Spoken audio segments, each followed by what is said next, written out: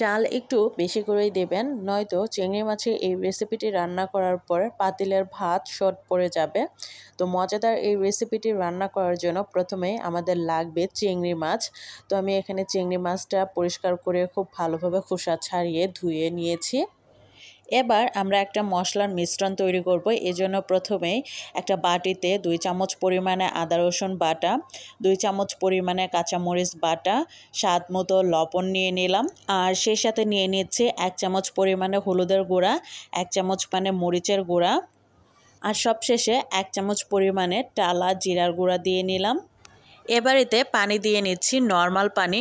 খুব বেশি একটা পানি দেব না। পরিমাণ মতো আমি এখানে হাফ কাপ পরিমাণে পানি দিয়েছি। তো পানিটা দেওয়ার পরে এই মশলাগুলোকে খুব ভালোভাবে চামিচটার সাহায্যে মিশিয়ে নিতে হবে। আর এই মশলাটা মিশানো হয়ে গেলে আমাদের এটা রেস্টে রাখতে হবে পাঁচ থেকে দশ মিনিটের মতো। এবার এটা রান্না করার জন্য পাত্রে পরিমাণ মতো সয়াবিন তেল দিয়ে এতে হচ্ছে চারটা পেঁয়াজ কুচি দিয়ে নিলাম।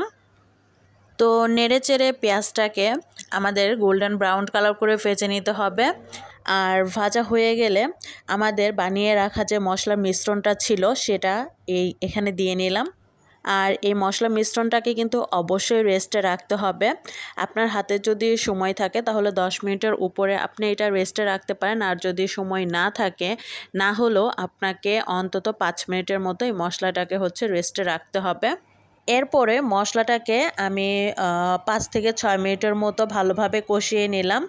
আর কষানো হয়ে গেলে আমি এতে চিংড়ি মাছ দিয়ে নিলাম। তো চিংড়ি মাছগুলোকে নেড়ে চেড়ে মশলার সঙ্গে একটু মিশিয়ে দু থেকে তিন মিনিটের মতো ভেজে নিতে হবে। আর এরপরে আমাদের এটা রান্না করার জন্য বা এতে ঝোল রাখার জন্য পানি দিয়ে নিতে হবে। আর পানিটা অবশ্যই আপনি যেই রকম ঝোল খেতে পছন্দ করেন, ঘন বা পাতলা যে যেরকম পছন্দ করেন সেই অনুযায়ী পানিটা দিয়ে নেবেন। এরপরে ঢাকনা দিয়ে ঢেকে মিডিয়াম আছে আমি প্রায় দশ থেকে বারো মিনিটের মতো এটা রান্না করে নিয়েছি। আর দেখতে তো পাচ্ছেন, মাশাল্লাহ, এটা এত বেশি লোভনীয় লাগছে।